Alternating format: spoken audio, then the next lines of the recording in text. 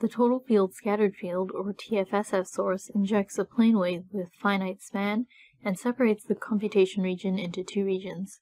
Inside the source region, both incident and scattered fields are present, and outside, only scattered fields are present. The total field scattered field source works by subtracting at its boundaries any light which is directly transmitted through the source region or reflected from a flat substrate, so that only light that is scattered by a feature contained completely inside the source region will pass through the boundaries and propagate outside to the scattered field region. To get a better idea of how the source works, it's useful to consider what happens in the simple case when the source is injected in free space with no scattering objects as shown in this movie. The plane wave is injected from one side of the source region and subtracted at the other side. Since there is no scattering, the fields are zero outside of the source boundaries. When there is a substrate, any light which is directly reflected or transmitted through the substrate gets subtracted at the boundaries.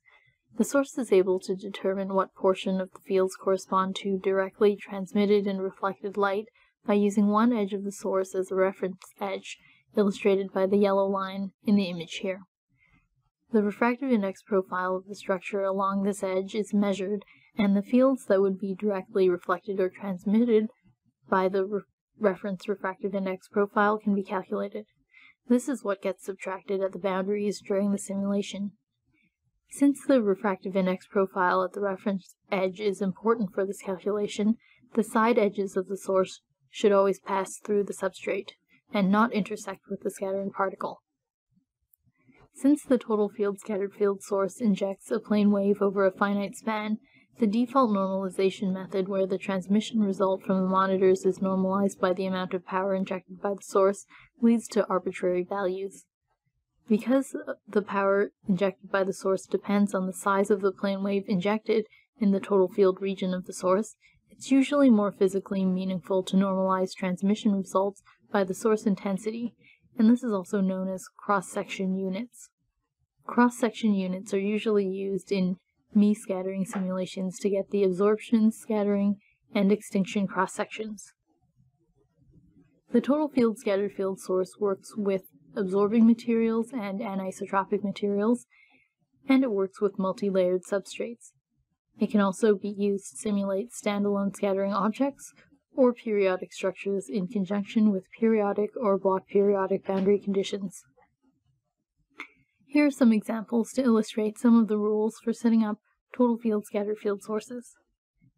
If using PML boundaries at the sides to simulate a single standalone scatterer, the source should not extend into the PML boundaries at the sides.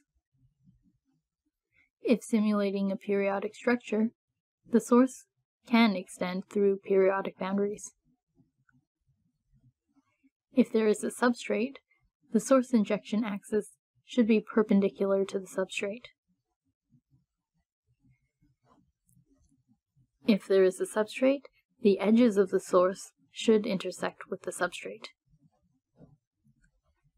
The source should not intersect with the scattering object. Some applications which use the total field scattered field source are Mie scattering and defect detection.